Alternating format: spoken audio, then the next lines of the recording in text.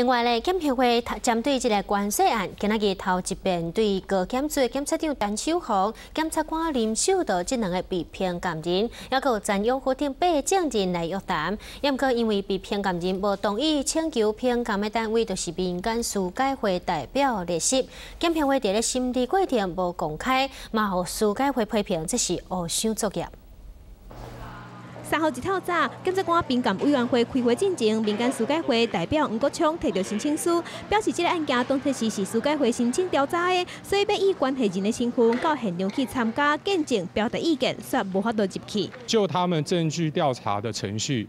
到现场予以加以见证。那对于这样子一种黑箱、不透明的检察官评鉴机制的运作，民间司改会的立场是绝对没有办法接受。不过，检察官评鉴委员会委员彭文正表示，依照法官法第四十一条第九项以及检察官评鉴实施办法第十条，爱经过被评鉴人同意才当公开，红评鉴的这些人拢反对，所以才无准。我们比较尊重当事人，就受评鉴人，因为他们的权益其实是最需要被保障的，所以当他们都不愿意开放的情况下，我们。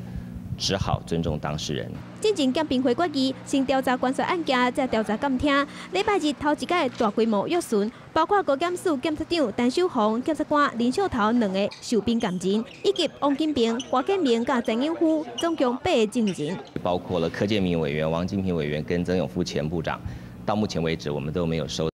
他们书面的正式答复，也我们在呃，到时候时间内他们是不是会到询？另外，伫咧监听的部分，虽然检察总长黄世明因为牵涉到泄密，以后已经互台北地检署起诉，不过检评会强调，因是独立的单位，无受到影响。估计伫咧后礼拜日就约询黄世明，嘛无排除约询总统马英九。记者昆自七克峰台北报道。